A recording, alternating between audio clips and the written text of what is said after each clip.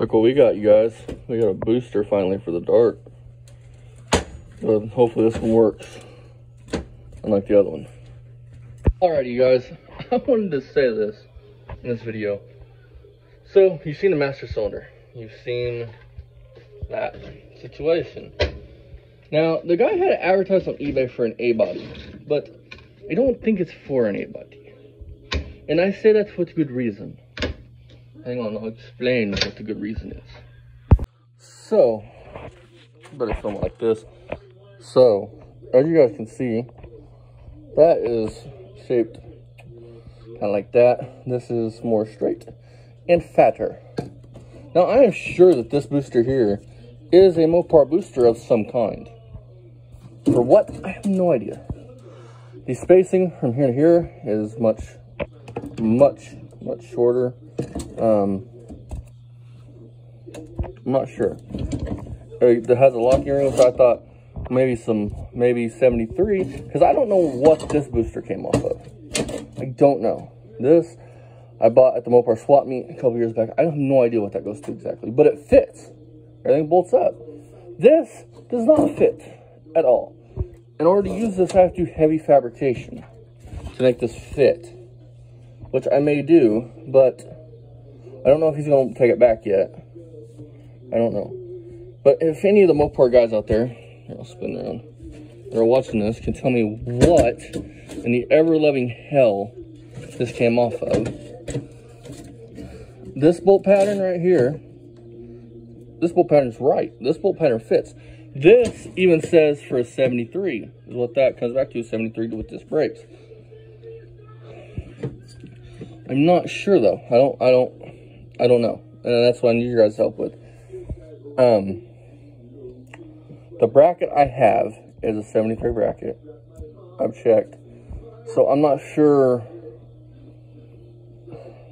what's wrong. This one has a, like a screw-on ring. This one actually like locks into place.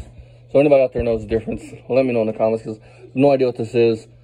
Maybe it's for an A-body, maybe, but it doesn't fit my bracket. My bracket's off of a 72 Plymouth Duster. So, or no, 73 Dart Swinger. But, tell me what I did wrong here. The guy had it listed as for 73 Dart.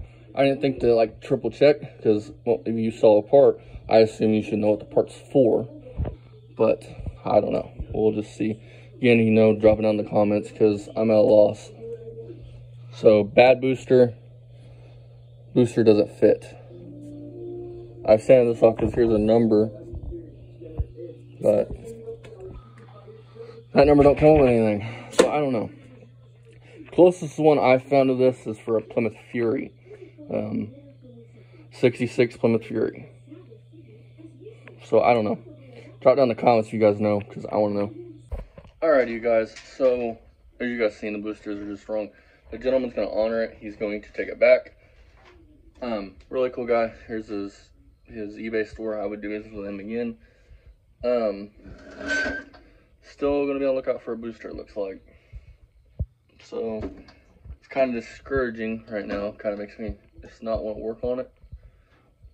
That doesn't make sense, but it's kind of discouraged me a little bit, you know.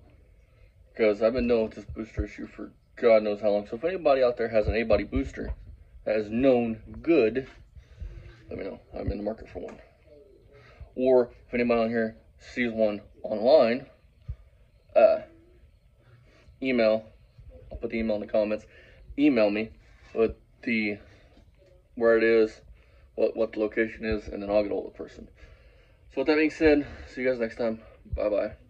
Don't forget, make sure TV cables are cut tight. Otherwise, cause your car to run like shit. See you guys next time. Bye bye.